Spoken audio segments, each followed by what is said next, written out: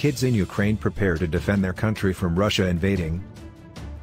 Children get to grips with guns as they prepare to defend their country from a looming invasion threat.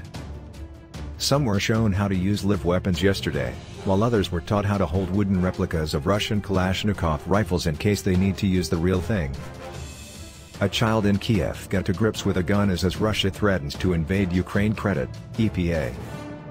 The Ukrainian military held a training day in Kiev, where civilians of all ages were given expert tips from experienced weapons instructors credit, AFP.